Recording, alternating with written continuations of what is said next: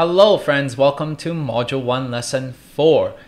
Activate your three altered egos, the technician, the entrepreneur, and the manager.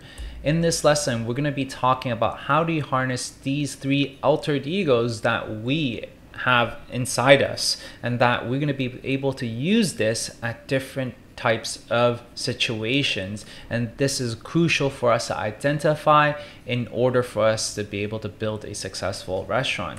Let's dive in further. In every single one of us, we possess certain characteristics, such as the entrepreneur, the technician, and the manager. Now let's define each of these roles, and so then that way you understand when you're going to be playing each of these roles.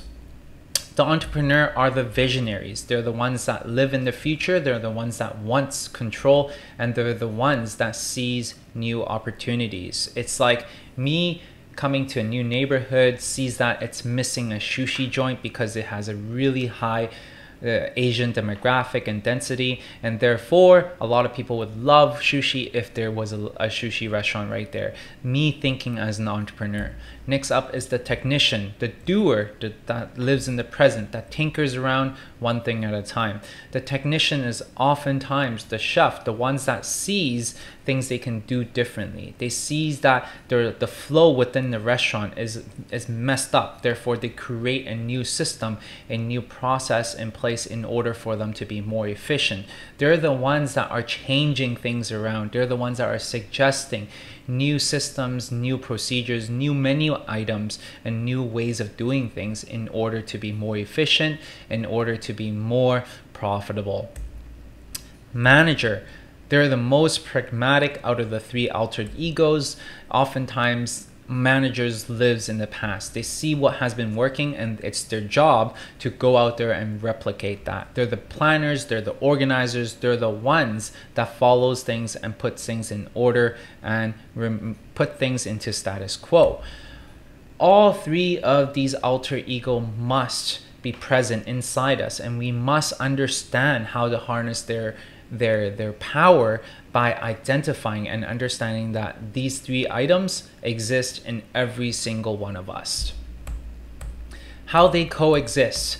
Just because I'm, I'm, I'm an entrepreneur doesn't mean I don't have the skill set to make sure things are always in order in order just because I'm a manager, knowing the fact that things need to be be followed, rules need to be followed, SOPs needs to be followed, doesn't mean I do not possess what it takes to adapt as a technician, to create new things, to be in that technician role to make things more efficient. I need to be able to possess all three of these guys and put on different hats at different stages within my business. And once again, in the worksheet down in the link below, download that worksheet and there are a ton of different templates and directions to help you define your own three altered egos. So why is it super important for us to identify it? It is because it limits our potential if we only let one alter ego dominate all of us okay oftentimes we see mom and pop shop fail because they lack the ability to see the opportunity to expand. The technician in the mom and pops, they're just always there fixing things. They're always there trying to make their own business better. Yet they fail to have that foresight, to be a visionary, to see that, hey, you know what, things are going to be adapting. You know what, people are liking the vegan stuff. Maybe what we should do is to change our menu to in include vegan option as well but a lot of mom and pops they fail to do that. They're so focused within their in-house items. They're so focused on tinkering what is working within and what is not working within their own restaurant that they fail to see outside of them. They lack the ability to put on the entrepreneurial hat and actually go out there and think. Next up is crashing and burning entrepreneur full flight but lacks manager that's the thing that I am super guilty of is the fact that I'm such a big entrepreneur that before understanding that I had these three hats, these three alter egos that I can put on, I failed to put on that side. I failed to put on my manager's side.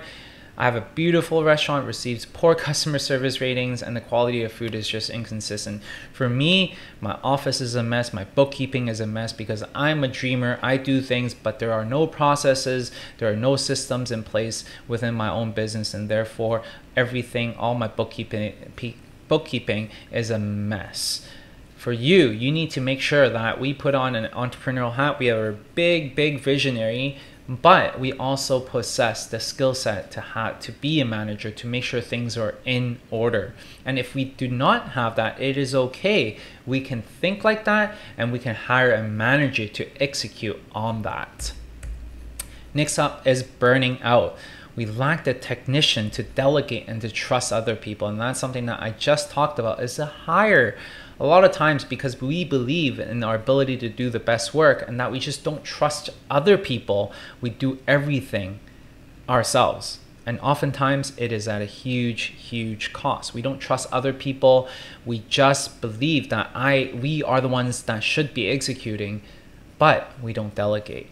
And that in turn forces you into burnout. And when you burn out, it doesn't only affect you, it also affects the people around you, the relationships that you have, which is why defining your three altered egos is so, so important because once you're aware of it, now you can put on different hats at different times and you can go out there and hire different people to help you execute if you don't want to be working on those items.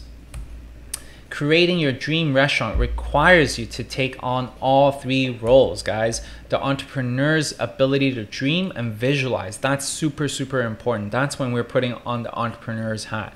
Next up, we're gonna switch hats. We're gonna be like the technician. It's our turn to go build. Go out there and build and solve problems along the way. If we just think like an entrepreneur, if all we're doing is just dreaming and we're not matching that up with doing and problem solving, then we cannot build a successful restaurant. I'm just going to be a talker all the time. I can't execute.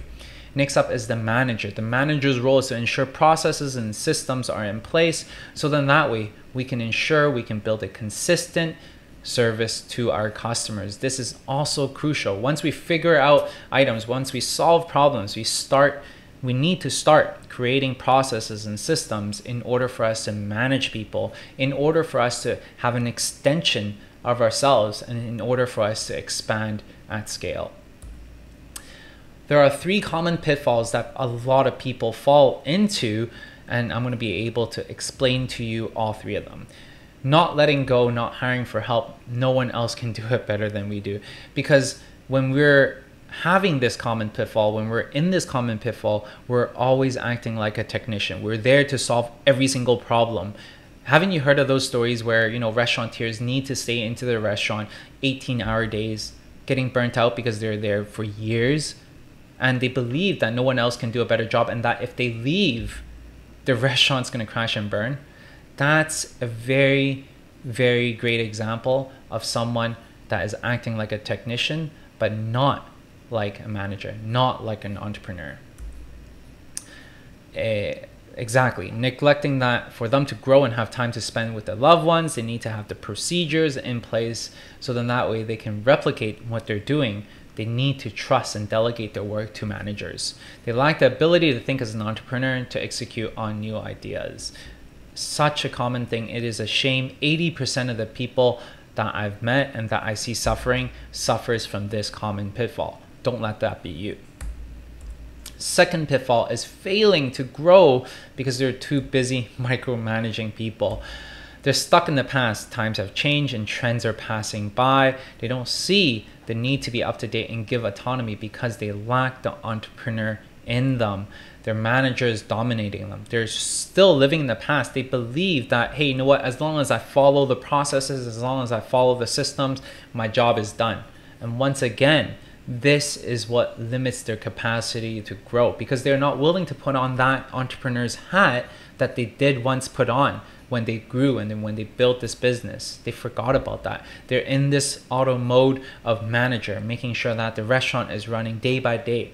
But slowly, if they do not innovate and if they don't adapt to time, their restaurant is going to go out of trend and out of style, and that's when they suffer. And the last common pitfall is dominated by both egos. The idea that there are there, but the shop is just chaotic, guys. No quality assurance in both service and food because of the lack of the technician and manager in-house. So many times I see this as well, that you're working with a big, big dreamer and they lack the ability to delegate, they lack the ability to trust others to do things for them, they lack the ability to hire people to put processes and systems in place for them. You, if you want to create a beautiful, successful, profitable restaurant, you need to put on multiple different hats at all times in order for you to be successful, guys. In the link below, make sure you download the template so then that way you can identify the three altered egos and to always remind yourself of how you can harness that power. To build your dream food and beverage, your restaurant, you need all three egos, okay? Awareness is way more than half the battle in this situation. So that's why it is crucial for you to go out there and define them and have clarity in your three altered egos. What you've learned today is how to harness the three altered egos so then that way you can set your restaurant up for success. Make sure that you guys really pay attention to what you have learned in this lesson. In the next lesson, we're going to be talking about the do's and the don'ts of a headache-free, drama-free partnership. I'll see you guys in the next episode.